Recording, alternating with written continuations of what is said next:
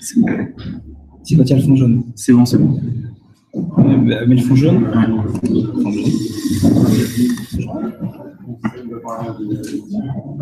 Yes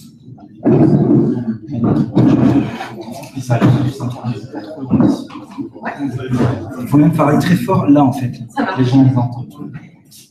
Bonsoir à tous. On va démarrer. Juste avant, euh, euh, on voudrait vraiment remercier euh, Mobiskill. Tendance à dire.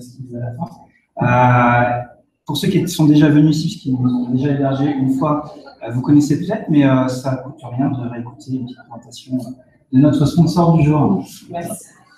Euh, donc c'est un cabinet de recrutement spécialisé dans la tech. Ça fait plus de 7 ans qu'on existe.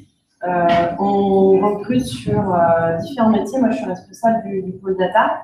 Chaque consultant est spécialisé par métier ou par techno. On recrute pour des postes en CDI, mais aussi en freelance depuis peu. Euh, c'est une nouvelle offre qu'on a, développée. Et euh, bah, du coup, si vous êtes euh, intéressé pour trouver un poste, surtout pour Pure Player Startup, c'est vraiment le positionnement. N'hésitez pas à venir me voir en fin de et si vous cherchez à, recruter et si on peut vous aider sur, ce, sur ce besoin, n'hésitez pas. Bonne soirée. Finalement, un petit détail technique, hein, deux secondes, que tu puisses euh, mettre ta clé USB. Ce serait quand même dommage de louper la. Ça marche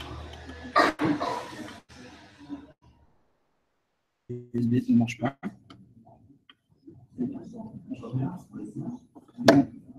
C'est pas grave, le Bluetooth ça marche, mais je pense qu'il faudra que tu remettes ta clé euh. Donc, euh, re, bonjour à tous. Euh, donc, on, est vraiment, euh, on est vraiment content de redémarrer cette rentrée du club Power BI parce avait un peu peur. Et Tristan s'est dit bon, il y on avait bien démarré, hein, avril, mai, juin, il y avait du monde. hein, la salle a été remplie, les gens étaient debout, on avait des gens dehors qui y avaient- non, en tout cas, c'est vrai que cette salle était, était bien remplie, il faisait chaud. Et on avait un peu peur que les vacances, bah, finalement, euh, mettre fin un petit peu à tout ça. Donc, on est vraiment content qu'il y ait du monde ce soir euh, à, au Club Power BI. C'est vraiment, euh, l'idée, c'est vraiment d'avoir un groupe d'utilisateurs euh, sur ce produit qu'on aime qui, est Power BI. Donc, nous, on va le faire vivre mois après mois, essayer de vous présenter de plus en plus de choses sur le produit, faire des retours d'expérience, etc. Mais évidemment, ce club, c'est le vôtre. donc, c'est à vous de nous dire ce que vous voulez qu'on montre. On va vous montrer un petit peu quelques, quelques outils pour nous faire des feedbacks, mais au final, enfin, globalement, dans les moyens modernes, si vous n'arrivez pas à trouver aucun moyen de nous contacter, je pense que prenez une petite formation d'Internet. Euh, voilà, en 2017, euh, je ne pense pas que, que vous n'arrivez pas à, à nous contacter. Donc, euh, c'est à vous d'échanger entre vous, euh, de ce que vous voulez voir. Donc, euh, donc voilà. Donc euh, merci. Euh, on est 405, un peu plus là, je crois qu'il y a quelques 460. 460. On a même fait un euh, dashboard, d'ailleurs, ai ça va, on va faire ça. Euh, pour la prochaine fois. Pour la prochaine fois. Euh, donc 4- 460, euh, c'est, euh, on pourrait dire c'est un vrai succès. Donc, en tous cas, on est content. hein. Je, suis dans les depuis euh, quelques années et c'est un vrai, vrai, un vrai succès. Maintenant, quand on se compare avec nos amis européens, il y a vraiment un boom. Et euh, voilà, je crois que c'est dans les pays scandinaves, ils sont plus de 1000 personnes dans, dans les utilisateurs.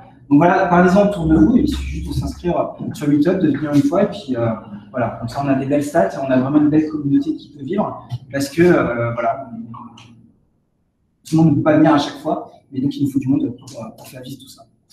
Alors on a lancé une initiative juste avant l'été, pareil, on s'est dit on va voir ce que ça va donner. Pour ceux qui nous suivent, je vais quand même le représenter. Euh, C'est le concours euh, DataVis. Donc on avait euh, présenté ça, on s'était dit ça serait intéressant de un peu nous benchmarker pour les gens qui sont passionnés par les produits, qui ont envie de construire des tableaux de bord. Ben, en fait, c'est finalement de se mesurer à d'autres et puis savoir qui a fait le plus beau tableau de bord ou le plus technique. Je, les, les règles, on les renverra sur, sur le Twitter, mais globalement, elles sont sur, sur le site Meetup et sur le site du, euh, du group. Elles sont plutôt simples. hein. Vous nous proposez un dashboard. La seule contrainte qu'on vous demande, c'est que les données soient euh, publiques et publiables, euh, histoire que si quelqu'un veut, à partir du même jeu de données, euh, essayer de se confronter et de faire, euh, et de faire mieux, voilà, parce que c'est facile si vous masquez toutes les données, les gens doivent pouvoir le refaire. C'est à peu près la seule règle. Euh, L'idée, c'est un peu de noter sur deux critères. Euh, la note technique, hein, c'est comme le patinage, hein, il y a une note technique et une note artistique. Euh, voilà, donc le jury, c'est des gens de chez Microsoft. On a quelques partenaires et sponsors, Price par exemple, qui a hébergé notre tout premier meetup, qui se sont proposés pour, participer un petit peu au jury. donc c'est ouvert. La date, normalement, c'était le 16 septembre. Alors vous dites, mince, il a 10 jours pour faire un tableau de bord et le soumettre. C'est vrai que ça ne fait pas beaucoup, donc on va le rallonger un tout petit peu. Jusqu'au 30 septembre, vous pouvez soumettre un tableau de bord. Voilà. Donc, euh, je sais qu'il y a quelques personnes, il y a Paul qui participe. mais tu as oublié de préciser le plus important. C'est qu'il y a un truc à gagner. Il y, a, il, y a, un truc à gagner. Oui, en plus, maintenant, il y a des vrais trucs, euh, il y a des trucs à gagner. C'est vrai qu'il y, a deux mois, en fait, on avait juste notre considération et euh, la beauté du geste. Euh, entre-temps, c'est vrai qu'on a trouvé des cadeaux, et notamment, alors, je ne sais pas par lequel tu veux commencer, tu as bah, Alors, deux, deux, deux cadeaux. le premier, vous le savez peut-être, il y a une certif Power BI qui est sortie, une certif Microsoft, pour laquelle il faut payer. Elle coûte à peu près 200 euros. Ouais, à peu près 200 euros. Euh, on vous a ramené euh, des discounts sur cette certif. Donc on a 5 vouchers euh, qui vous permettent d'économiser 40% sur cette certif Power BI. Donc les 5 plus beaux dashboards, ou au moins les 5 personnes qui soumettent quelque chose pour vous gagner ce dashboard. Et on a un deuxième cadeau, ce t-shirt qui est pour femmes ou hommes très maigres. Voilà. Donc euh, n'hésitez pas. Et, euh, voilà. et, voilà. Et bien sûr, la, la certif, il faut la passer et, vous n'avez pas la réponse aux questions. Hein. C'est à vous de l'avoir. Le discount, il est juste sur le prix pour la passer. Hein. Euh, oui. Ça, ça reste de l'autre côté. Mais on pourra peut-être à la en parler lors d'un meetup de cette certif et vous donner un peu de feedback puisqu'on est quelques-uns à l'avoir passé ou à la passer très prochainement. Donc, on pourra vous faire un petit feedback, un petit feedback là-dessus. Donc, euh, c'est simple, il suffit de nous envoyer votre dashboard, des données publiques et publicables. Avant euh, le 30 septembre minuit, on fera un petit update, euh, un petit update des règles. Et maintenant, vous dites comment va y avoir la délibération tout ça, etc. Parce que l'idée, c'est quand même bah, qu'on en discute de ces tableaux de bord. et ben, on va tout simplement annoncer le prochain meetup qui aura lieu le 5 octobre. Donc, juste après MS Experience, donc c'est le jeudi, hein, c'est ça, c'est mardi et mercredi. Nous sera jeudi, on est en train de caler un peu le lieu où aura lieu euh, ce meetup. D'ailleurs, si vous connaissez un endroit qui est capable de nous héberger euh, une cinquantaine de personnes, euh, on est preneur. Hein. on a quelques lieux en tête, mais n'hésitez pas, c'est vraiment un truc qui, nous intéresse. Et ce qu'on va faire, c'est qu'on va faire un petit format un petit peu spécifique. alors, je vais sortir un très savant, ça s'appelle un Pecha Kucha. Je chercherai sur Wikipédia. Hein. c'est tout simplement un format où les gens doivent pitcher leur dashboard. Donc, tous les gens qui vont se mettre et qui seront sélectionnés on a dit euh, en gros 106 euh, dashboards, 7, euh, ben, auront 6 minutes 40 si, si, on reste dans les règles officielles du Pecha Kucha, donc la, Fédération internationale du Pecha Kucha. Vous avez 6 minutes 40 pour pitcher votre dashboard. Après, on coupe le micro et vous n'avez pas une, pas une seconde de plus. Et on verra pour le système de vote, il y aura certainement un jury, mais s'il y a du monde, on mettra peut-être une, troisième note qui est la petite note. on verra ce qu'on pourra vous montrer. Donc voilà, donc euh, n'hésitez pas, il suffit juste de tenter de faire un dashboard sur n'importe quelle donnée, hein, il n'y a pas de contrainte euh, sur les données que vous choisissez. Voilà. Peut-être citer les équipes qui, ont déjà, qui sont déjà en liste. Voilà, tu as. Oui, il me semble. C'était dans, les cartons. Voilà, je Super. Voilà, cool. Euh, les... Donc, il y a une équipe chez Azeo. Euh, qui sont pas là. Donc, Fabien, je sais si tu participes. Euh, Tristan, toi, tu joues en candidat libre on ne sait pas sur quoi tu, tu, présentes, tu vas nous présenter euh, quelque chose. On a qui d'autre? On a Adrien Bailly euh, de Toulouse. Et voilà, de Toulouse qui va participer. Adrivise sur Adrivise. Et Et Presse, normalement, non? Je sais pas. Parce que s'ils sont juristes, dommage qu'ils présentent son truc. et le gagnant est. Allez, on va passer à d'autres sujets. Euh, on voulait faire un petit peu de point parce qu'en fait, on se dit, euh, c'est bizarre, il n'y a personne qui va sur le site du Power BI User Group, mais en fait, c'est vrai qu'on ne vous l'a jamais présenté. Au final, vous connaissez Meetup, puisque si vous êtes là, vous savez qu'il y a un Meetup, euh, il y a ça, mais en fait, on a un site officiel, alors c'est pas nous qui l'avons fait, c'est vraiment tous les user groups euh, internationaux. Quand vous dites, quand on se belge avec l'Angleterre, euh, la Norvège, l'Allemagne, etc., c'est via ce site, et vous voyez que 27 membres. Ça pourrait être pire, hein, mais on n'a que 27 membres là, alors que en fait, on est 450. Et euh, si vous avez déjà travaillé avec les pays anglo-saxons, notamment les Américains, euh, ils ont un tableau eux, ils regardent ce chiffre-là, vous leur dites qu'il y a des meet qui du monde, vous faites des photos, en fait, ils s'en fichent complètement. Eux, c'est ça qui regardent. Donc, en fait, bah, la France est vue comme un pays où on ne fait pas de Power BI, on n'est pas très bon en Power BI. Donc, allez-y, surtout que en dehors de vous inscrire pour nous faire plaisir et montrer que la France est présente sur le domaine de Power BI, euh, nous, on va mettre tous les slides des Meetup, en fait, euh, plutôt que de les mettre sur Meetup, c'est un peu compliqué pour les récupérer. On va les mettre sur, euh, sur ce site-là, donc il faudra aller là pour les récupérer. le concours de Thalys, on l'a annoncé aussi ici. Mais surtout, ça doit être un lieu d'échange. C'est un forum, avant tout. Hein. Globalement, dans ce site, il n'y a pas grand-chose, mis à part un forum. bah, c'est simple, posez vos questions sur Power BI, technique, pas technique, fonctionnel, est-ce que ça arrive, etc. L'avantage, c'est qu'ici, vous pouvez les poser en français. Parce qu'il y a tout un tas de forums euh, qui sont très très actifs, hein, mais ils sont tous en langue anglaise. Là, si vous avez un peu de mal à traduire ou vous voulez tout simplement poster en français, vous et euh, ben, des gens comme, euh, comme nous, comme Paul, comme bah, vous tous, vous pouvez répondre et l'idée c'est de s'entraîner. Ce n'est pas forcément que moi et Tristan qui allons répondre. L'idée c'est vraiment qu'il y ait des échanges là-dessus. Donc n'hésitez pas, un problème technique, un truc à partager, c'est fait pour, c'est vraiment un site de forum. Donc euh, la petite pub, on pourrait vous le montrer, hein, mais euh, au final, j'avais mis le screenshot. Hein. Hop, où est-il? Tu me l'as fermé en fait, c'est ça Non? Non, non. Ah non, ok, il est là. Hop, donc le meetup, vous le connaissez. Hmm. Angout, euh, il hang pas mal la machine en fait. Hein. Bon, c'est pas grave, vous avez, vous avez le screenshot. Euh, sinon, vous tapez euh, les userbook Power BI, vous devez tomber, euh, vous devez tomber normalement dessus. Donc ça, c'était une petite info. Et puis maintenant, on va reprendre notre agenda habituel avec une première session nouveauté, ensuite un dossier, et puis on fera un timer avec un direct. Par Paul, je te laisse la parole, Tristan. Attends, je vais te retirer le hub USB parce que ça ne marche pas en fait. Tu veux le cliquer Bonsoir à tous, moi aussi je suis super content de vous revoir après cet été. Alors comme vous le savez, chaque mois on fait un meet-up et ça tombe bien parce que chaque mois il y a une nouvelle mise à jour de Power BI Desktop.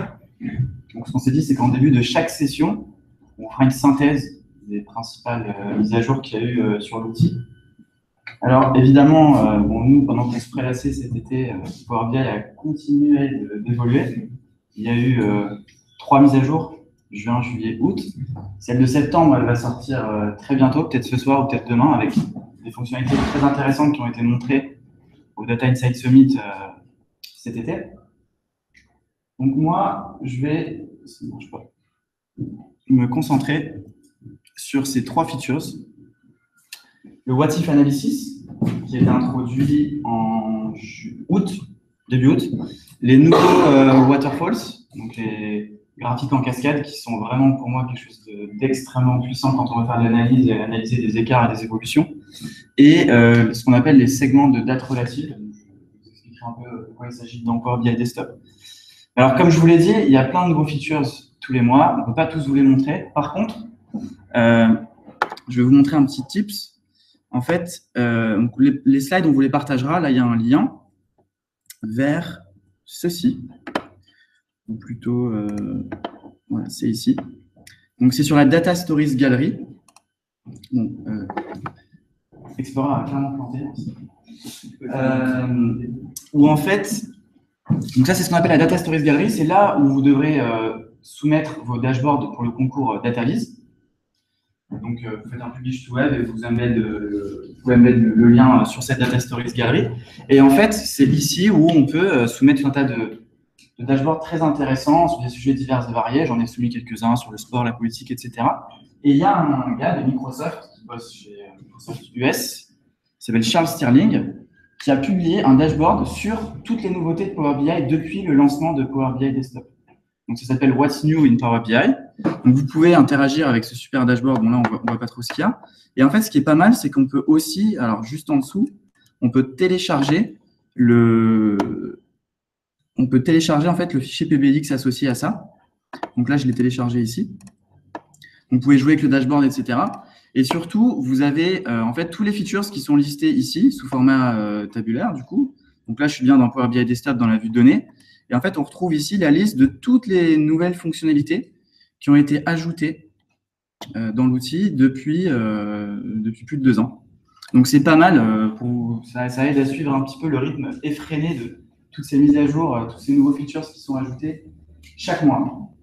Donc voilà pour le tips. Nous, à chaque fois, on en fait une synthèse et on en retient deux, trois. C'est peut-être pas les meilleurs, c'est peut-être pas ceux que vous voudriez voir, mais voilà, l'idée, c'est de partager avec vous tout cela. Donc, je vais fermer ce PDX et je vais aller là-dessus. Donc, comme je vous l'ai dit, le premier feature que je vais vous montrer, c'est le What If Analysis. Euh, donc, c'est quelque chose qu'on peut déjà faire dans pas mal d'outils comme Excel, par exemple. Euh, et l'idée, c'est de faire ce qu'on appelle de l'actionable BI, c'est-à-dire de pouvoir euh, simuler des scénarios et répondre à des questions du genre qu'est-ce qui se passerait si quelque chose d'autre arrive? Donc, l'idée, c'est de faire des analyses de sensibilité, des scénarios et d'évaluer l'impact que ça peut avoir sur des résultats. Donc, pour illustrer le propos, euh, j'ai un modèle de données extrêmement simple avec une table de faits euh, vente, euh, avec une répartition géographique, une table calendrier dédiée au temps et une table produit. Donc en gros, voilà, j'ai des ventes par pays, produits, etc. J'ai une mesure explicite qui me donne le total de mes ventes.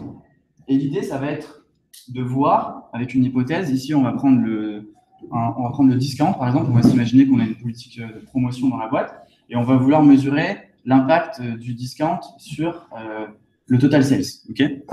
Donc, on va aller dans la vue euh, modélisation.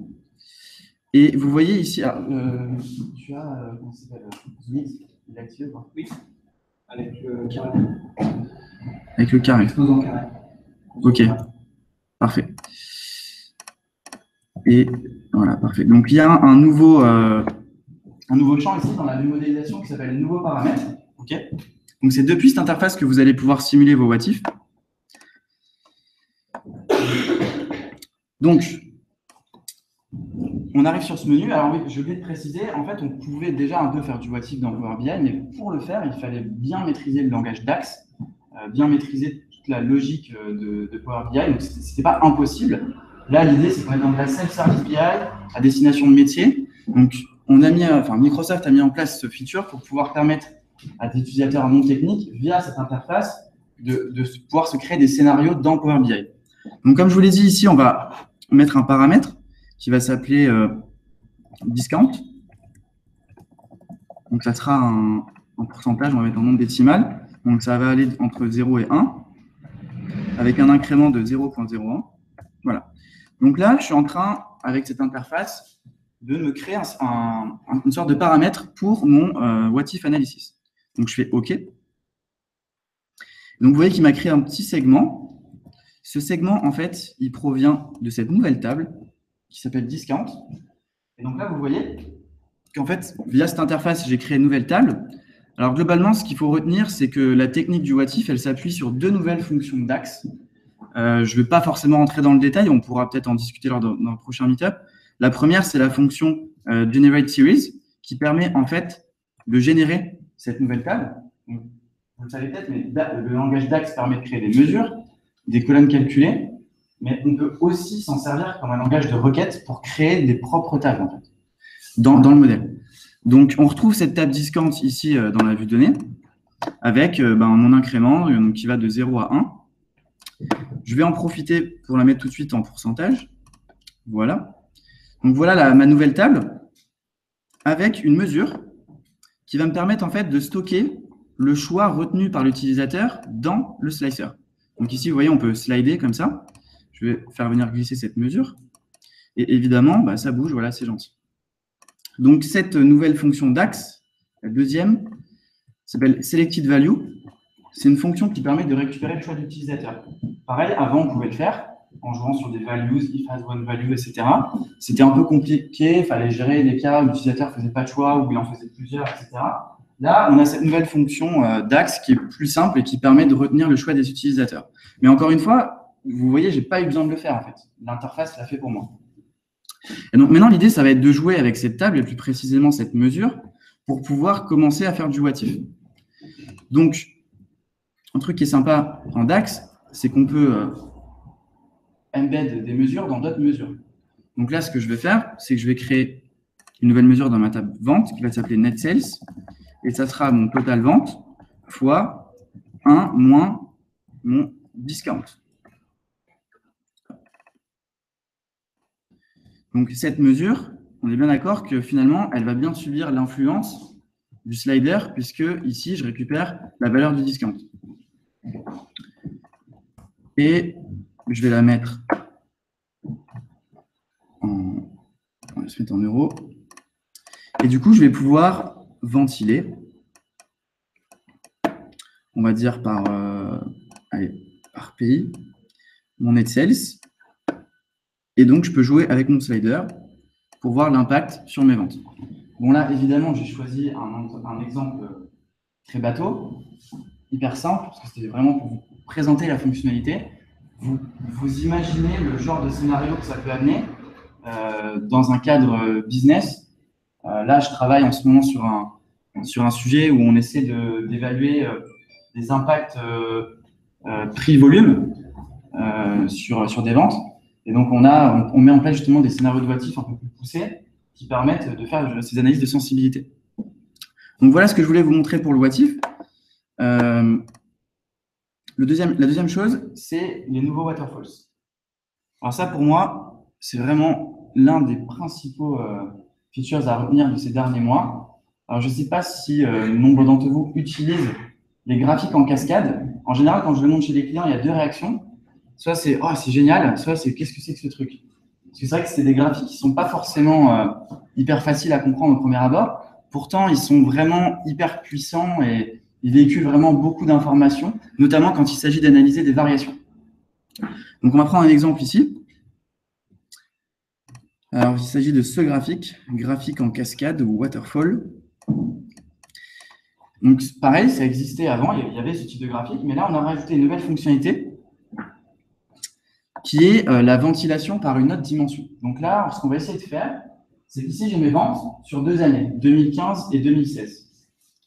J'aimerais comprendre en un seul graphique, sans avoir à faire de DAX, etc., à comprendre qu'est-ce qui a drivé l'évolution de mes ventes, à la hausse ou à la baisse, je ne sais pas encore, entre 2015 et 2016. Donc pour faire ça, euh, je vais mettre mes années en catégorie. Je vais mettre bah, mon net sales en axe Y. Et du coup, j'ai ce nouveau champ maintenant, ici, qui s'appelle répartition. Donc là, c'est bien, je suis bien dans le graphique en cascade. Et en fait, c'est ce champ qui a été ajouté dans la nouvelle version du waterfall et qui va vous permettre de justement effectuer euh, une répartition d'une autre dimension entre les deux années euh, de la catégorie. Donc ici, par exemple, on se dit, bah, j'aimerais bien ventiler par, euh, disons, par continent. Voilà. Et alors là, en un graphique, j'ai mes ventes 2015, mes ventes 2016, je comprends qu'elles baissent, et je suis capable de voir très rapidement, en fait, quels sont ici les continents qui ont drivé l'évolution de mes ventes? Donc là, on voit que c'est l'Europe qui a vraiment tiré vers le haut, mais malheureusement, l'Amérique et l'Océanie ont tiré vers le bas. Vous voyez la, puissance que ça peut avoir. Et évidemment, c'est un graphique comme les autres, c'est interactif. On peut bénéficier du slider que je vous ai montré juste au-dessus. Euh, un autre truc sympa avec ce waterfall, on va plutôt, que de le ventiler par continent, on va le ventiler par type de produit pour comprendre un peu ce qui, ce qui a drivé l'évolution de mes ventes. Je vais le, ventiler par euh, produit. Voilà. Donc on voit que globalement mes t-shirts et le rhum ont drivé euh, mes ventes. par contre, les montres et les gâteaux, on a moins bien vendu par rapport à 2015. Et alors là, vous remarquez cette, catégorie un peu bizarre qui s'appelle autre. Et alors là, pareil, c'est super puissant. En fait, le moteur interprète tout seul quel regroupement il faut faire et il va grouper en fait des éléments négligeables dans cette catégorie autre. En fait, en réalité, mes produits, j'en ai 12 différents. Je ne sais plus exactement lesquels. On pourrait les voir rapidement euh, dans la table product. Voilà, j'en ai exactement 12. Mais en fait, le, moteur euh, interne permet de détecter tout seul quelles sont les catégories qui sont pertinentes de montrer sur ce waterfall. Donc là, vous voyez, en fait, j'en ai globalement 5, t-shirt, roam, short, montre et gâteau. Les autres, il les a toutes regroupées dans autres parce que finalement, euh, elles sont pas, euh, elles expliquent pas vraiment l'évolution, elles, sont neutres en fait. Et alors, ce qui est bien, c'est que ce paramètre, je vais pouvoir le modifier. Donc là, je vais entrer dans le paramètre du waterfall, je vais aller dans répartition, donc là, vous voyez, il a branché à 5. Et potentiellement, je vais le mettre à 3 ou au maximum à 12. Donc là, j'ai vraiment mon, waterfall décomposé. On voit l'évolution de, mes ventes entre 2015 et 2016 par type de produit. Donc voilà la fonctionnalité qui est franchement euh, bluffante et qui, pour moi, dès que vous voulez faire une analyse euh, d'un indicateur et que vous voulez interpréter son évolution, on peut difficilement faire mieux. Franchement, euh, c'est vraiment hyper puissant. Un petit défaut qu'un client m'avait demandé et qui n'est pas encore disponible, c'est de pouvoir faire du drill down dans la répartition. C'est-à-dire, j'aimerais bien pouvoir, en fait, ici, pouvoir mettre plusieurs champs. Donc, par exemple, ici, ma catégorie au-dessus de mon produit et pouvoir interpréter dans un seul graphique ce qui drive mes ventes par catégorie puis par produit, comme on peut le faire dans pratiquement tous les graphiques euh, Power BI où on peut facilement utiliser euh, les, fonctionnalités de, hiérarchie et de drill down. C'est pas encore disponible dans ce graphique. J'ai soumis une idée sur powerbiids.com. Hein, comme vous le savez, on peut soumettre des idées euh, pour les futurs features qui seront développées par Microsoft pour que justement ce type de graphique supporte le drill down. Et pour moi, ça, apportera encore plus de valeur au, au métier et à l'analyse. Donc voilà sur ce nouveau waterfall.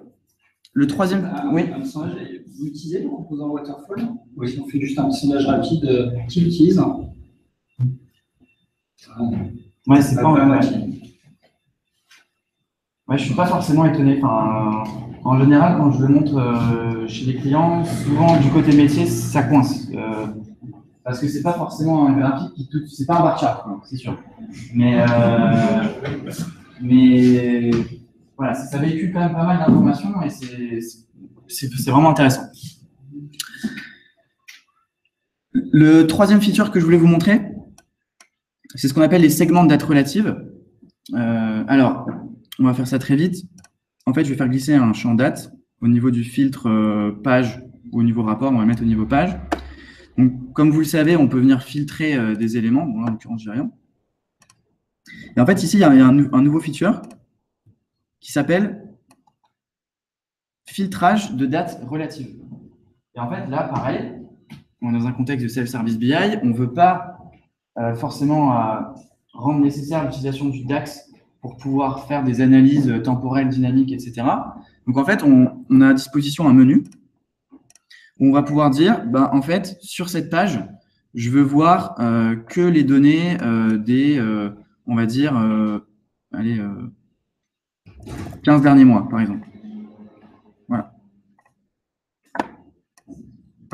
Bon, là, forcément, il n'y a plus rien. Euh, mais voilà, vous voyez le genre d'analyse qu'on peut, qu'on peut prédire. En fait, ça permet, donc ça tient compte de, la date d'aujourd'hui, avec la fonction today qui est inhérente au DAX, et ça va venir filtrer tout seul euh, un certain nombre de choses. Donc, c'est super intéressant pour faire des trucs assez dynamiques, et dans les derniers, et dans ceux, et dans le prochain, euh, par mois, par semaine, par jour, etc. Donc ça, c'est vraiment hyper puissant. On voit les trois features, j'aurais pu vous en montrer plein d'autres. Euh, la possibilité d'importer directement des custom visuals depuis Power BI Desktop. Euh, le drill through qui est sorti dans Power BI Service, mais pas encore dans Power BI. voilà, il y en a plein d'autres. Ils sont tous listés dans le dashboard que je vous ai montré tout à l'heure. Et voilà ce que j'avais à vous montrer pour ce mois-ci. Donc, on rappelle, hein, si vous voulez qu'on fasse un focus sur une nouveauté en particulier, euh, vous allez juste de dire, euh, j'aimerais bien avoir une petite démo euh, de ça et, et puis on la planifiera pour, pour, pour le Sachant que là, il va y avoir la mise à jour de septembre qui va sortir normalement dans, les, tout prochains jours. Alors, je ne vais pas trop faire teasing hein, pour, la prochaine, pour le prochain meetup, mais je peux vous assurer qu'on aura des trucs vraiment top à vous montrer parce que normalement les bookmarks et le drive through devraient, devraient sortir. Donc pour ceux qui l'ont vu au Data Insight Summit, euh, c'est des fonctionnalités assez puissantes. Donc euh, voilà. Ben, merci beaucoup. Euh, du coup, je vais repasser la parole à Jean-Pierre qui va vous faire une session sur un focus, un focus sur le partage et la collaboration dans Power BI. Donc en gros, on va répondre aux questions du type j'ai fait un super waterfall. Je veux le montrer à mon manager qui ne comprendra pas le waterfall. Euh, comment je fais pour lui partager mon tableau de bord? Voilà. cette, session, euh, j'essaie de la mettre à jour et de la, faire euh, régulièrement à, différentes conférences. Et l'un des corollaires en fait qu'il y a sur cette session, en dehors de le présenter à son manager, pour lui montrer qu'on a compris pourquoi on avait perdu ou augmenté nos ventes sur, sur l'année, il y a une question qui revient très souvent, c'est aussi comment je peux le partager à l'externe euh, ou à beaucoup d'utilisateurs, et on sait que, économiquement parlant, on ne peut pas euh, payer une licence pour un BI Pro euh, à tout le monde. un truc bête, hein, vous avez un dashboard dans votre société, vous avez 2000 collaborateurs qui doivent pouvoir y accéder parce que ça va les aider dans leur quotidien. Comment on fait pour, pour faire ça? Alors, j'aurais pas forcément que des bonnes nouvelles pour tout le monde. parce que, parce que bah, j'étais là avec les différents niveaux de licence. Mais justement, il y a eu quelques clarifications avec la premium, et cette clarification n'arrive pas forcément avec euh, la meilleure des nouvelles, euh, puisque, enfin voilà, du produit, c'est euh, évidemment quand on veut partager et collaborer, en règle générale, on tombe toujours sur une version de licence payante, puisque la version gratuite est faite pour être personnelle et donc travailler avec ses propres données et se les partager avec soi-même. Sur son téléphone, on peut, mais avec soi-même. Mais on va détailler un petit peu tout ça et je vais essayer de, clarifier avec du premium, avec les groupes, avec les workspaces, etc. pour, euh, parler un petit peu de partage collaboration. Ça marche pas, je, je les passe pour ça si tu sinon, je vais reprendre euh, le bon vieux clicker bleu. Ah, Alors, les façons de partager, euh, et celle qu'on va, que, je vais un petit peu détailler, on a en effet une fonctionnalité native de partage. On a ce qu'on appelle les workspaces, les espaces d'application. Les packs de contenu, euh, ça existe toujours, vous pouvez toujours en créer, mais en fait, dès vous en créez, ça vous met un beau à en disant euh, attention, euh, vous ne voulez pas plutôt regarder les espaces d'application parce que c'est nouveau, donc j'en parlerai pas. Hein. C'est un, truc qui va disparaître dans les mois qui vont arriver. les applications qui rejoignent les espaces d'application, et on parlera un petit peu d'embedding, là, on va avoir des vraies solutions pour pouvoir partager un petit peu plus largement les dashboards. Donc, le partage natif, Globalement, euh, c'est super simple. Hein. Vous avez un bouton partager qui est euh, au niveau d'un dashboard euh, qui va vous ouvrir cette fenêtre-là. potentiellement, je, je vous montrerai en vrai, mais enfin, voilà, c'est assez simple, hein, on peut rester sur, sur, sur les, screenshots, qui va nous permettre finalement de pouvoir partager le dashboard. Donc là, votre destinataire va être notifié. Si dans votre tenante, il va recevoir ça avec une petite notification, il va recevoir sur son téléphone avec un email. Enfin bref, globalement, il, il y a de fortes chances qu'il s'aperçoive que vous lui avez euh, partagé un tableau de bord parce qu'il est dans la même entreprise que vous. Donc, il y a tout ce qu'il faut pour qu'il soit au courant euh, de ce partage. On est bien d'accord, c'est du 1 pour 1. C'est vous, euh, moi, Jean Caillet, qui va partager à Tristan Malherbe. donc, je vais mettre son nom, il va recevoir le dashboard. Alors, bien sûr, vous pouvez mettre. D'ailleurs, j'ai jamais essayé de savoir s'il y avait une limite. je ne sais pas ce qui se passe quand vous mettez 3000 personnes dedans. Mais potentiellement, il y a certainement une limite quelque part. Hein. C'est de l'informatique. Donc, il y a bien quelqu'un qui a mis un chiffre dur dans, du code. Euh, mais voilà, globalement, c'est pas non plus fait pour envoyer à 3000 personnes, mais potentiellement, euh, vous pourriez. Donc, on reçoit un, email. Maintenant, ce qui est intéressant avec cette, euh, fonctionnalité de partage, c'est qu'on peut partager à l'extérieur. Donc là, vous dites, oui, mais on a dit qu'avec la licence gratuite, on ne pouvait pas forcément le partager. Là, on est encore sur du one-to-one, donc on va pouvoir le partager à l'externe. Mais on va avoir quelques limitations. Euh, parce que dans certains cas, vous allez avoir des gens qui vont dire, mais c'est bizarre, ça marche pas. Puis d'autres qui vont dire, moi, ça marche très bien. Vous faites l'essai, moi, je j'ai fait des ça marchait très bien. Et justement, on se dit, euh, bah, ça tourne bien parce que euh, ça marche, je vais plutôt utiliser le partage externe, alors qu'en interne, des fois, on a un petit peu de Je reviendrai sur cette subtilité, mais en fait, c'est dû au fait que par défaut, toute personne qui n'a pas encore parlé et qui recevoir votre email se voit attribuer une licence d'évaluation qui lui permet finalement de regarder le dashboard. Donc en fait, euh, potentiellement, quand ça marche plus, c'est que la personne a expiré sa période d'évaluation. Et je, reviendrai sur ce, sur ce point-là. Donc faites attention avec le partage, c'est que ça marche, mais vous n'êtes pas, euh, pas forcément la vision ce qui va se passer de l'autre côté, vous n'avez pas la main sur le fait que ça va marcher ou pas de l'autre côté, parce que vous ne savez pas si la personne a la licence. Et souvent, quand vous vous demandez, vous dire, je ne sais pas, je n'ai jamais utilisé, je ne sais même pas ce que c'est quoi. Euh, petit, quelques petites restrictions, euh, et notamment elles sont très liées avec ce que je viens de dire euh, d'un point de vue technique. On a des limitations avec Gmail, Hotmail, des emails comme ça qui ne marchent pas, mais je crois qu'il y a une IDS qui est en cours là-dessus pour, que ça marche. Et il me semble qu'elle est, marquée en Under Review Started, donc ça devrait, ça devrait arriver bientôt. L'autre limitation qu'on peut avoir quand on est externe, c'est de devoir sauvegarder le lien. Euh, en effet, vous recevez un email dans lequel il y a un lien. Euh, si vous mettez l'email à la poubelle et que vous n'avez pas sauvegardé ce lien, ben, en fait, euh, vous n'avez aucun moyen de retrouver le dashboard qu'on vous a partagé. Même si vous allez sur euh, votre tenante et que vous êtes un fervent utilisateur de Power BI, vous ne verrez pas dans le partage avec moi.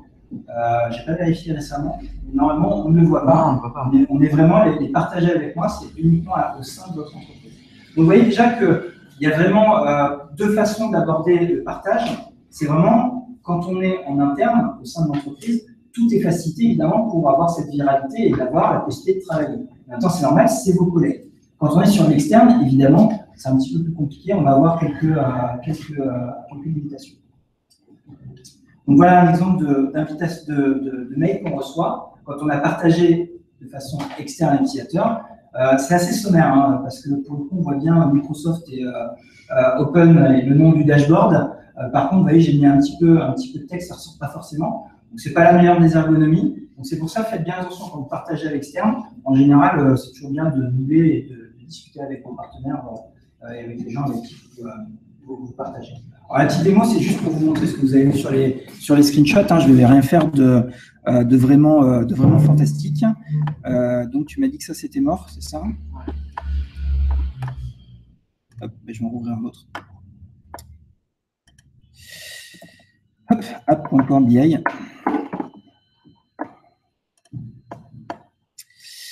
Donc, je prends n'importe quel dashboard. Donc, on est bien au niveau tableau de bord. hein. Si je descends au niveau rapport, je n'ai pas ce petit bouton qui est ici. Ce petit bouton partager. On est, c'est bien un dashboard qu'on partage. C'est pas juste un rapport. C'est le dashboard, évidemment, euh, ce qu'il y a, euh, ce qu'il y a en dessous. Et donc, euh, très souvent, et c'est d'ailleurs souvent dans ces cas-là qu'on le voit, bah, en fait, ce que vous faites, c'est que vous épinglez tout le, tout, tout le, tout le report, vous l'épinglez dans le dashboard, comme ça, il n'y a pas euh, deux niveaux euh, quand, vous, quand, quand vous partagez. Alors, à votre, à votre avis, je mets quoi euh, pour les commentaires? Est-ce que je le recommanderais à un ami ou à un collègue? Je vous, laisse, je vous laisse voter. Oui? Il y a des chances Bon. Puisqu'il n'y a pas de. Hop. Donc là, je vais le partager et vous avez euh, cette fenêtre qui arrive. Alors, est-ce que j'ai déjà partagé à quelqu'un? Euh, Non, à, personne. Mais en fait, pensez bien, cette fenêtre, elle a, vraiment deux onglets intéressants. Elle a partagé et accès. Accès vous permet la révocation. On est bien d'accord quand on est dans une logique de partage et de collaboration, il y a un point qui est extrêmement important, c'est de pouvoir révoquer les accès.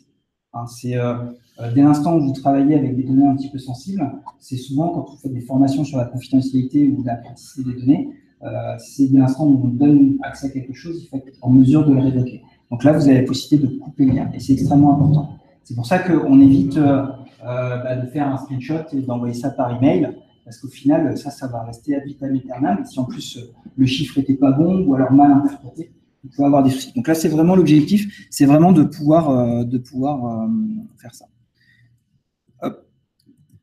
Voilà, c'est ça que je voulais faire.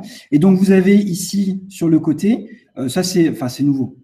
Euh, forcément, quand euh, ça fait que vous faites du Power BI, on trouve que c'est nouveau, mais ça fait quand même quelques mois que c'est là. Vous avez la possibilité de voir finalement ce qu'on vous a partagé, mais encore une fois, dans votre tenante. Donc, évidemment, c'est normal quand on est en entreprise qu'on soit un peu favorisé par rapport à des utilisateurs qui seraient un petit peu plus éparpillés. Donc, je peux voir justement que Tristan m'a partagé un dashboard il y a 15 jours et qui n'a pas révoqué l'accès pour, pour, pour le moment. Hop, on va revenir sur le, sur. Workspace et application. Alors, euh, je mets Workspace parce que euh, espace d'application, ce n'est pas forcément une bonne euh, traduction. Avant, il y en avait une, ça s'appelait les groupes. Je pense que j'ai mis quelque part. Oui, c'est ça, ex, ex-groupe. Moi, je trouvais que c'était plus facile à comprendre. Voilà, on a un groupe de travail sur lequel bah, je vais mettre plusieurs personnes. Et puis, bah, c'est simple, c'est notre espace de travail.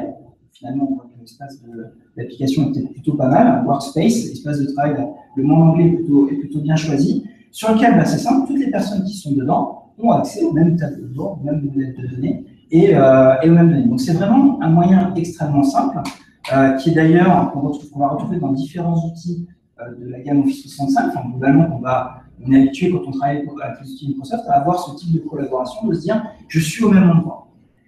Pourquoi? Parce que tout ça, c'est adossé au groupe Office 365. Donc, si vous ne savez pas ce que c'est, un groupe Office 365, c'est un espace de travail, mais qui va bien plus loin que Power BI. Il y a du mail, du calendrier, du Teams, etc. Enfin, je ne vais pas vous faire euh, l'article de tous les produits qu'on trouve euh, dans Office 365. Et en plus, il y a un espace Power BI sur lequel vous allez pouvoir, travailler. Maintenant, deux petits warnings euh, là-dessus.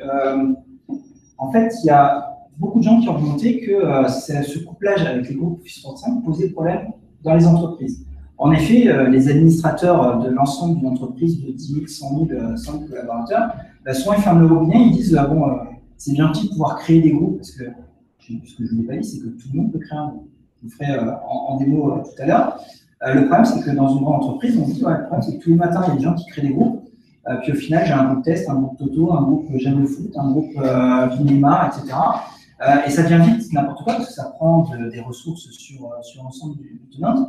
Donc évidemment, il y a une demande pour découpler un petit peu les choses et faire en sorte que quand on crée un groupe Power BI, ça ne crée pas tout ce qu'il y a, tout. Donc il y a un découplage qui est en cours. Actuellement, c'est pas découplé. J'ai encore fait l'essai en préparant la démo. Ça met un peu de temps en fait à tout créer, mais quand vous avez créé les éléments, dans votre espace d'application, ça crée bien tout ce qu'il y a derrière dans Office 365. Donc pensez Et donc je fais un deuxième warning, c'est la gouvernance, parce que ces admins, on pourrait se dire, oh, ils sont chiants à nous bloquer euh, et à empêcher qu'on puisse faire ça. En fait, il y a une bonne raison, parce qu'il y a un moment, il faut mettre un petit peu de gouvernance, des règles de nommage, savoir qui partage quoi avec qui, etc.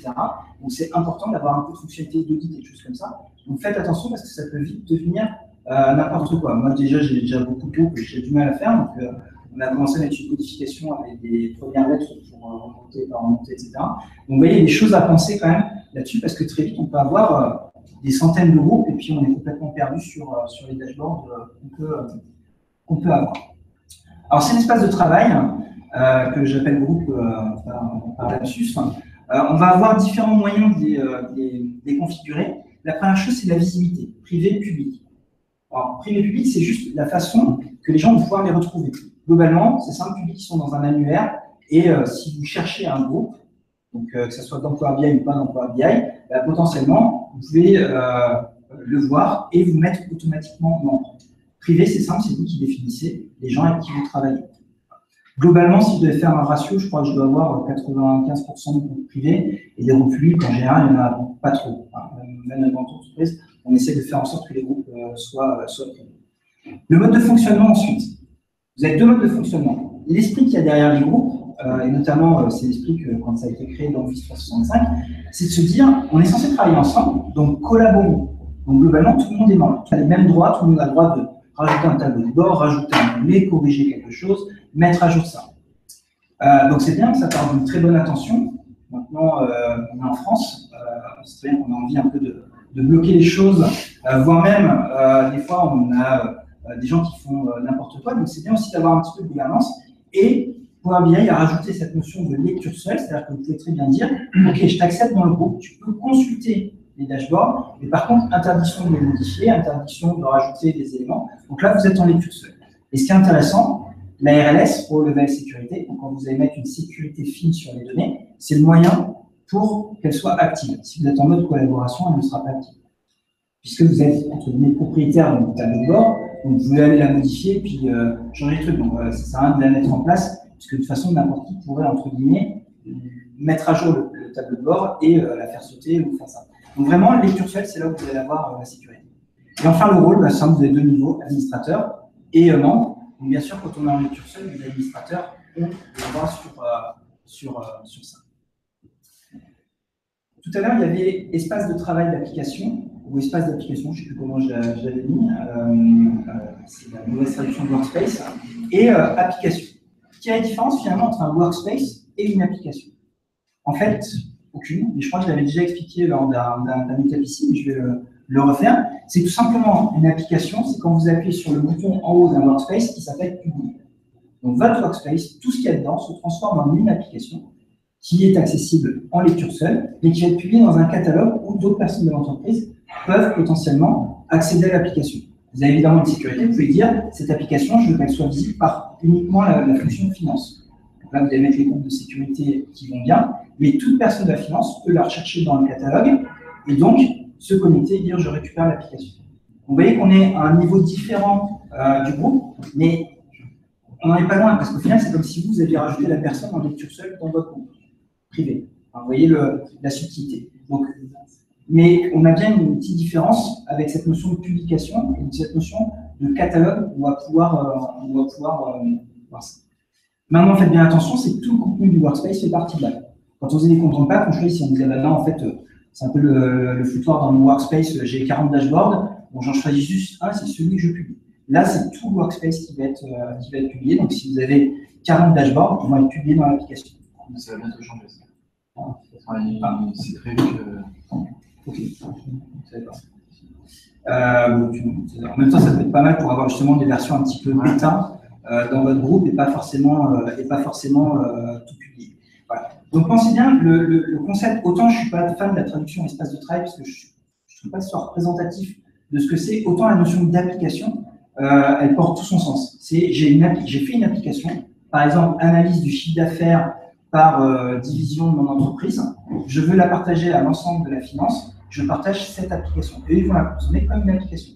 Sauf qu'ils n'ont rien à télécharger, à installer. Ils ont juste à aller dans Power BI et d'aller rechercher l'application et de dire je veux récupérer cette application. Normalement, voilà. Il y a un petit slide de démo. C'est juste pour illustrer, euh, illustrer ce qu'on a vu ici. Donc, les espaces de travail, vous les avez sur la, barre sur le côté. Donc, vous voyez, moi, je commence à en avoir un petit peu beaucoup. Pourquoi? Parce que bah, j'ai créé plein de groupes euh, pour euh, tout et rien qui n'ont rien à voir avec Power BI et pourtant que je retrouve ici dans Power BI. Euh, pour euh, en créer, il suffit juste, euh, où est le petit plus? Ah oui, c'est vrai que c'est plus un petit plus, c'est un élément en bas. Donc, on va retrouver la notion de, de privé, la notion de les membres peuvent, peuvent modifier, et ensuite vous mettez tout simplement les personnes dans votre groupe, vous faites créer, et ça va vous créer cet, espace de travail sur lequel vous allez pouvoir collaborer autour, autour d'un tableau de bord. Hop. Donc ici, j'en ai fait deux. hein. J'en ai fait un qui me permet d'avoir ici de la collaboration. Ici, donc c'est un groupe de travail sur lequel j'ai mis différentes personnes pour pouvoir travailler avec moi sur ce tableau de bord. Et j'en ai créé un autre, juste parce que je voulais vraiment euh, tester, voir s'il y avait des différences, qui ici est une application. Euh, la seule différence, elle est dans le nom. Au final, c'est exactement la même chose. L'autre différence, c'est qu'ici, vous voyez que j'ai mettre à jour l'application. Pourquoi? Parce que elle a déjà été publiée. Donc là, potentiellement, je modifie euh, mes dashboards, je rajoute une nouvelle fonctionnalité, je corrige quelque chose, je rajoute un logo. Une fois que j'ai terminé, je fais mettre à jour. Toutes les personnes qui ont l'application vont avoir les dashboards, les, les dashboards à jour. Si je reviens sur l'autre, Ce qui veut dire que du coup, quand tu as une application, euh, en tant que propriétaire, tu peux faire des modifications, etc. Mais tant que tu euh, actualises. tant qu'on pas- les a pas publiés, en fait, on a vraiment cette notion de dev. Entre guillemets, C'est notre espace de développement. Vous pouvez le voir, euh, vous pouvez le voir comme ça. Maintenant, en effet, et ça rejoint ce que tu disais tout à l'heure, c'est que je peux pas gérer du branching des versions, euh, enfin comme on ferait quand on est euh, quand on est développeur. Euh, mais c'est déjà bien d'avoir d'avoir ce niveau-là. Mais je crois qu'il y a une chose publique, donc je vais pas le dire. Mais il y a des choses qui arrivent pour pour les développeurs. Je vais le dire comme ça, comme ça j'en ai parlé, mais j'ai pas dit grand-chose. Euh, pour améliorer améliorer ça. Et enfin, juste pour vous montrer les applications. Donc là, c'est les applications que moi j'ai. hein, donc c'est mes applications sur lesquelles je euh, j'ai déjà téléchargé. Hein, évidemment, j'en ai pas beaucoup. Euh, il y a beaucoup de choses de test. Mais ce qui va être intéressant, c'est de pouvoir faire une recherche ici. Et euh, d'ailleurs, je ne sais même pas ce qu'il y a dans notre catalogue. Je ne sais pas s'il y a, grand-chose. Il ne doit pas y avoir grand-chose. Test, là, il y en aura peut-être. Bon, bah, finalement, il n'y en a qu'une qui, a été, euh, qui a été mise. Ouais, c'est des contents de pack qu'on a plutôt euh, sur les anciens. Donc là, j'ai l'application. Donc un utilisateur, je peux me connecter avec un, autre compte pour vous montrer, bah, va pouvoir, ce qui est... euh, bah là, je l'ai déjà, mais en fait, sinon, vous avez ici un bouton Obtenir. Ici. Euh, vous allez avoir un bouton Obtenir, il va vous la mettre dans vos applications. Et donc, après, elle va se mettre à jour. Donc, ça, c'est un mode de collaboration. C'est de se dire, je, vais, je, je dois diffuser quelque chose assez largement dans l'entreprise. Bah, je vais créer une application et c'est ça que je vais partager, que je vais mettre à disposition dans le catalogue. Je ne vous ai pas montré, c'est euh, la publication. Alors, si je, l'ai fait, non, c'est pas mettre à jour que je veux. Euh, on va prendre une qui n'est pas publiée. Je je vais pas aller jusqu'au bout du process, mais très important ici, vous avez la notion d'accès. Et donc là, je peux très bien juste dire, je la donne qu'à mon application finance. Évidemment, dans des grandes euh, sociétés où vous avez différentes filiales dans, euh, dans le monde, c'est quand même dommage de rechercher puis d'avoir des trucs espagnols, des trucs brésiliens, euh, des trucs français, des trucs allemands, etc. L'idée, c'est vraiment d'avoir cette segmentation après euh, du de votre catalogue, euh, de votre catalogue d'applications. N'hésitez pas si vous avez des questions. hein. Euh, évidemment, euh, il y, a- plein de choses à dire et je fais des démos assez courtes. C'est que vous ayez en fait les pointeurs. Après, vous avez juste à jouer avec. Hein. C'est pas, c'est pas d'une grande complexité euh, pour, euh, pour pouvoir euh, tester tout ça. La dernière façon de faire du partage, c'est de faire euh, de l'embedding. Je vous ai mis la traduction qui j'ai trouvé en fait, cette qu'on trouve dans la doc, ils appellent ça l'incorporation. C'est tout simplement de se dire, en fait, j'ai le dashboard et je vais le mettre dans un endroit, et là, vous pouvez imaginer une un site SharePoint, mais pourquoi pas un intranet d'entreprise qui ne serait pas Office 365 ou, ou, du SharePoint ou autre, mais bref, vous allez mettre le dashboard quelque part où il va être accessible en sortant de Power BI. Donc c'est ça le principe de l'embedding, c'est de dire je sors mon dashboard Power BI je le mets dans un endroit qui est accessible de tout le monde. Et là on verra dans la synthèse que c'est ça qu'on va privilégier quand on va vouloir mettre à dispo un dashboard à énormément d'utilisateurs et on verra à énormément d'utilisateurs qui n'ont pas de licence Power BI. C'est une des façons de faire. Alors l'embedding euh, a changé depuis Power BI Premium. Avant c'était dans Azure, donc hier c'est bien euh, dans le service Power BI. Par contre, le petit prérequis, c'est qu'il faut du Power BI Premium avec au minimum une licence EM1 qui est à euh, à peu près 500 euros par mois. Donc, vous avez quand même un ticket d'entrée qui est alors. Euh, après, je suis pas là pour débattre si c'est trop cher, pas assez cher, etc. Là-dessus, euh, moi, c'est pas moi qui fais les prix. Hein, donc, je ne pourrais pas, je, pourrais pas, je ne donnerai pas DJ là-dessus. Mais voilà, vous, vous, avez un ticket d'entrée qui est quand même à 500 euros. Il faut juste le savoir. Euh, pour pouvoir faire euh, de l'embedding. Et pour 500 euros, qu'est-ce qu'on a? Je crois que tu connais par cœur le nombre de renders euh, qu'on peut avoir. 500. 500 page render. 500 page render. Donc, en gros, je, on ne va pas rentrer dans le détail, mais vous doutez bien que plus vous allez payer cher, plus vous allez avoir de la puissance et plus vous allez avoir de possibilités pour, pour partager. Évidemment, vous dites, bah non, je vais prendre un RAM, je vais mettre 100 000 utilisateurs sur mon application, et non, ça va coincer dans donc, en fait, la limite entre E, donc EM1, EM2, EM3, P1, P2, P3, les limites, en fait, elles sont tout simplement sur la puissance et le, le, page render. Donc, on voit à chaque fois qu'on affiche un rapport. vous avez une limite. Alors, bien sûr, ce n'est pas 500 par mois. Là, pour le coup, ça ne fait pas beaucoup. C'est un pic de 500 par heure. Alors, après, il y a tout un tas de calculs. Euh, on ne l'a jamais poussé euh, au bout parce que, parce que a un premium. Et euh, on est beaucoup dessus, mais, euh, mais voilà, l'idée c'est que vous dites bien qu'il y a une limite à ça, et à vous de calculer et de voir un petit peu euh, l'estimation. Il y a une calculatrice, c'est là pour vous aider, mais quand, on doit estimer le niveau qu'on a besoin, il y a plein de paramètres à prendre en compte, et surtout il y a un peu de données qu'on va prendre en compte parce que ça dépend de tellement de choses, notamment de, vos données à vous et de, ce que vous faites. Donc ça c'est le premier prérequis. Le deuxième, c'est que vous allez devoir euh, créer une application ce qu'on appelle Azure Active Directory. C'est qu'à un moment, il va falloir déclarer votre site ou l'application, parce que je dis un site, c'est pas forcément sur le web. Vous pouvez mettre ça dans une application, euh, un ERP que vous avez, vous avez, par exemple. Vous avez développé un ERP, vous voulez mettre du Power BI à l'intérieur, un petit menu euh, rapport et puis à l'intérieur de Power BI. Ça peut être une application lourde, hein, pas forcément du web. Mais en tout cas, il faut qu'elle soit déclarée quelque part. Il faut que Power BI en ait connaissance. Elle sache que c'est votre ERP vous allez lui donner une identité, etc. Et c'est ça qui va servir finalement à savoir que votre application est en train de consommer du, du, Power BI. Voilà, j'ai mis un petit peu de, détails, mais l'idée, ce n'est pas, pas de rentrer dans le détail de ce qu'il y a à faire. Hein. Création, enregistrement de votre application. Il y a une notion de permission. Qu'est-ce que votre application va faire? Afficher, mais potentiellement, votre application peut aussi permettre de créer des nouveaux rapports Power BI. Vous pourriez potentiellement faire une application qui permet à vos utilisateurs de d'uploader des BDX de les mettre à jour, de rajouter des filtres, etc. En fait, tout ce que vous pouvez faire dans le service, vous pouvez le refaire dans votre application. Mais, et ça arrive le dernier point, c'est que ça arrive de coder. Il n'y a pas de magie. On, vous, retire finalement, enfin, on vous dit que euh, tout un tas d'utilisateurs gratuits vont pouvoir utiliser votre application et au travers de ça, utiliser Power BI. Le prix à payer, en plus de votre licence, c'est que ça vous de coder finalement toutes les interactions et tout le travail qu'il va y avoir entre votre applicatif enfin vos utilisateurs, votre applicatif et, euh, et Power BI. Alors, ce n'est pas d'une complexité énorme. Quand on est développeur, évidemment, euh, il y a euh, ici, le, on est club Power BI, donc il n'y a pas euh, que des gens techniques, mais il va falloir aller voir votre équipe, votre IT, leur dire, bah, moi, si je veux dans le il faut me coder le, la, liaison, la liaison qui va bien. Je vous rassure, je ne fais pas de démo de code là-dessus. Après, pensez juste, vous avez deux façons de, de finalement faire de l'embedding. Euh, je ne vais pas rentrer dans les détails des protocoles, etc. Mais c'est simple. La première, la first party, l'utilisateur va s'authentifier avec son login et son mot de passe. Votre application ne la voit pas. Par contre, tout ce qui est fait derrière se fait avec son identité, et avec ses droits et ses permissions. Donc là, vous faites finalement un, euh, élément, mais les gens vont retrouver leur groupe, euh, leurs éléments, etc. Bien sûr, votre application n'a à aucun moment les informations pour se connecter à votre utilisateur. Vous voyez ça, hein, c'est simple, quand vous, euh, quand vous êtes par exemple dans Facebook hein, et vous autorisez une application à accéder à votre compte Facebook, hein, vous avez une petite page qui en disant cette application veut faire ça, faites-vous sûr. Votre utilisateur verra ça. Ça veut dire le RP machin, etc., de telle société, euh, demande à ce que vous lui déléguiez les droits de regarder vos dashboards, vous allez déléguer les droits. C'est ce qu'on appelle le first party. Et le first party, qui pour le coup va être que vous avez vraiment toute une masse d'utilisateurs et vous ne voulez pas qu'ils s'authentifient par exemple, bah, en fait c'est simple, vous avez un compte de service qui est déclaré. Et c'est lui qui va tout simplement aller chercher le rapport et l'afficher pour l'utilisateur. C'est deux modes de fonctionnement de la corporation.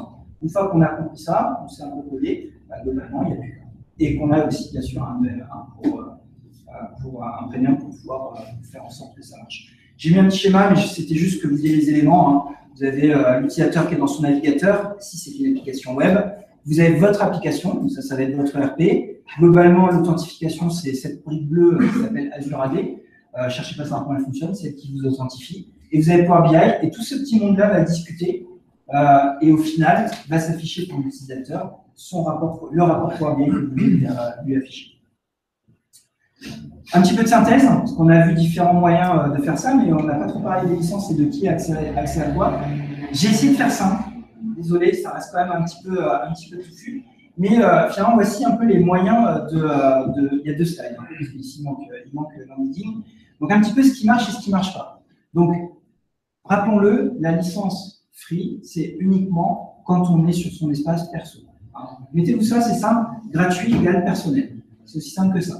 Donc évidemment, le gratuit euh, va moins marcher sur, euh, sur les aspects workspace et applications. Vous ne pouvez pas collaborer avec des applications avec des workspace si les gens n'ont pas de licence Power BI, euh, Power BI Il y a juste un truc que j'ajoute. Il y a un mode de partage qui est disponible en gratuit, qui est difficile à appliquer en entreprise, mais c'est le publish to web.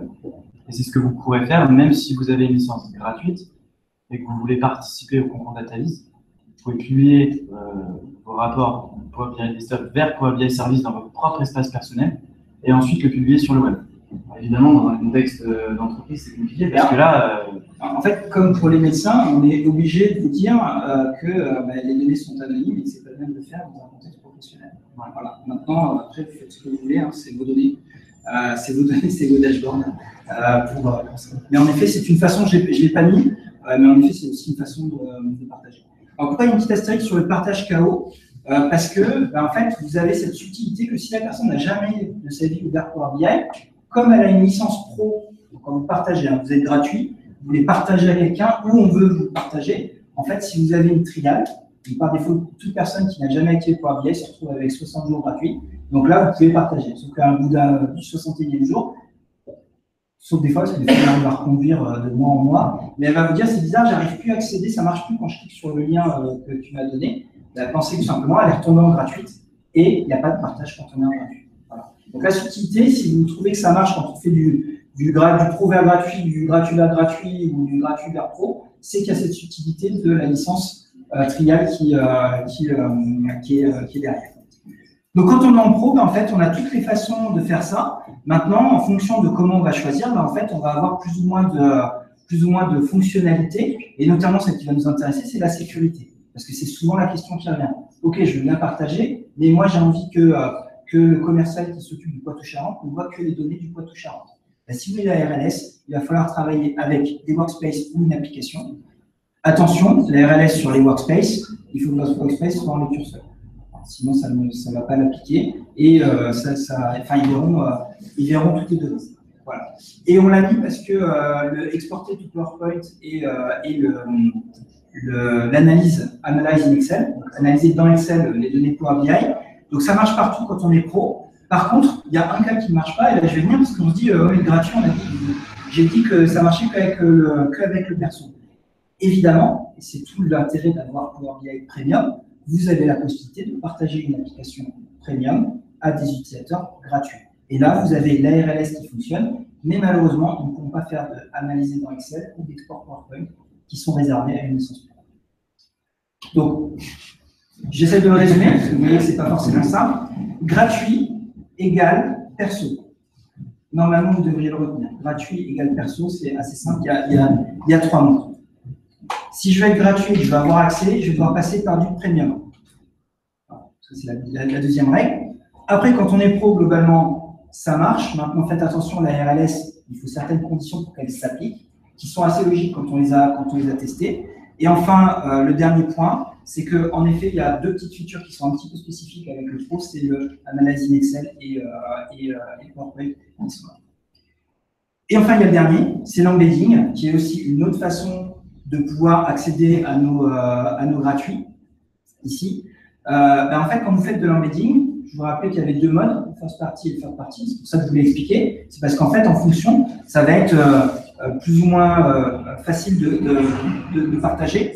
Donc, quand on est en gratuit, bah, c'est simple. Si c'est l'utilisateur qui s'authentifie pour voir ses dashboards, on est d'accord qu'il ne peut voir que ce qu'il a le droit de voir. Donc, CF, le slide précédent, il ne peut voir que son espace perso ou ce qui est premium. Hein, ça, ça ne change pas. Par contre, si vous êtes en third partie, donc c'est bien un compte de service qui fait le boulot d'aller chercher les dashboards, ça marche. Vous avez la RLS, maintenant c'est à votre application de, de dire qui est l'utilisateur votre application doit coder, doit dire euh, c'est Jean-Louis là, euh, il fait partie du service euh, compta, attention, il ne montre pas tout. donc c'est votre appli qui fait le travail de, de relais. Mais la RLS, la, RLS fonctionne.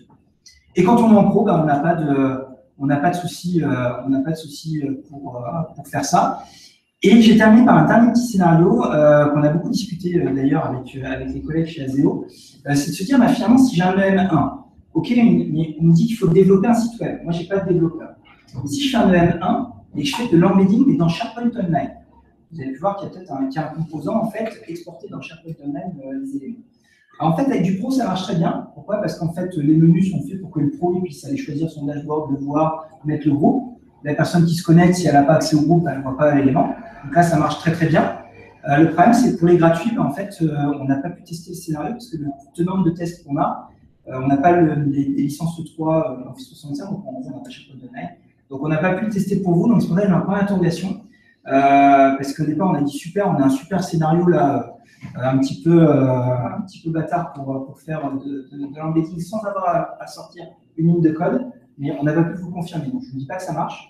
Je ne dis pas que ça ne marche pas. On vous tiendra informé si on arrive à faire, si on arrive à faire, à faire marcher. Voilà. D'ailleurs, s'il y en a qui veulent qu'on vienne tester avec eux, il faut juste un témoin de premium et des licences Office 365 E3 minimum. Voilà. Je passe un message pour, pour le coup. Et on a fini sur. Alors, vous manque peut-être un petit slide de questions, parce que évidemment, je vous ai donné euh, plein d'éléments. Vous aurez les slides, hein, donc euh, retenez, gratuit euh, égale espace perso, hein, si vous avez bien retenu. Donc vous l'aurez euh, pour essayer d'avoir ce petit pense-bête sur ce que vous pouvez faire et ce que vous ne pouvez pas faire. Je vais prendre quelques questions avant de te laisser faire ton retour d'expérience. Voilà. Est-ce qu'il y a des questions? Oui. Parce que là, vous nous présentez le schéma de partage sur SharePoint, mais qu'est-ce qu'il en est pour Dynamics, Teams et les, les autres couches formées Quel niveau d'accréditation on va avoir pour un contenu euh, Alors, la règle, globalement, hein, c'est si on est en pro, on voit ce à quoi on est accrédité. Donc, je peux voir ce qu'il y a dans les groupes auxquels je suis accrédité, je peux voir ce qu'il y a dans mon espace, euh, dans mon espace perso. Mais après, le problème, c'est la façon dont c'est codé. Donc, par exemple, pour Dynamics, les gens de Dynamics, ça a peut-être changé, hein, parce que c'était il y a quelques mois, j'avais regardé, en fait, Dynamics n'autorisait que de pouvoir rajouter sur la, sur la page son espace perso. On n'avait pas la possibilité de choisir un groupe, de choisir un, un autre dashboard qui, qui venait d'ailleurs. Mais ça, en fait, la problématique, c'est qu'il faut demander à Dynamics. C'est eux les développeurs qui font les deux. Pour le coup, Power BI, n'est rien. Power BI met une API. C'est à chaque brique, finalement, de, bah, finalement, de coder son, son propre MVD. Donc, SharePoint, je ne vais pas dire qu'ils sont plus avancés, mais en effet, euh, on va dire que moi, je suis plus avancé dans mes pérégrinations autour de SharePoint. Pour Dynamics, j'ai fait l'essai, c'était uniquement l'espace perso. Et je pense que ça va. Euh, voilà. Mine de rien, c'était avant qu'il y ait le premium. Donc, comme ça a changé, il faut qu'ils bah, recodent, hein, comme tous ceux qui ont fait dans l'embedding euh, avant, euh, avant que ça change. Donc là, il faut leur demander. Mais potentiellement, on prend le point. Le mieux, c'est de poser la question sur notre, euh, sur notre forum. Comme ça, on se rappellera qu'on doit traiter ça. Et puis, on essaiera de voir si on peut avoir la réponse auprès, auprès des équipes, des équipes de Dynamics. Voilà on garantit rien parce que des fois, il ne veulent pas répondre, hein, c'est pas les forcer. Euh, mais, euh, euh, mais on essaiera en tout cas. Une question. Aujourd'hui, quand on crée un app Workspace, on crée simultanément aussi, euh, parmi d'autres objets euh, un site SharePoint Exactement. auquel on peut accéder par euh, File. Oui, j'ai pas montré, mais oui. Cette partie-là va être supprimée quand ils déclareront les. Alors non, je pense que les groupes qui sont déjà créés, là, seront. Oui, mais cette, euh, les nouveaux workspaces qui Les nouveaux workspaces, en fait, on euh, que Power- voilà. Alors, ça veut pas dire qu'on ne pourra plus du tout le faire. Euh, le problème, c'est que je- on- on n'a pas vu encore la cinématique, mais je, par euh, extrapolation, je vais peut-être essayer de l'imaginer. Par exemple, quand vous êtes dans Teams, je ne sais pas si vous utilisez, c'est un outil, alors, malheureusement, comme il est arrivé avant, qui est assez populaire, si vous connaissez c'est l'équivalent euh, dans le monde Office, euh, Office 65. Et pour ceux qui ne connaissent ni l'un ni l'autre, c'est un petit outil de chat dans des types où euh, on partage tout, euh, euh, la vie à l'œuvre. Euh, voilà, très sérieusement, je sais que je me et que je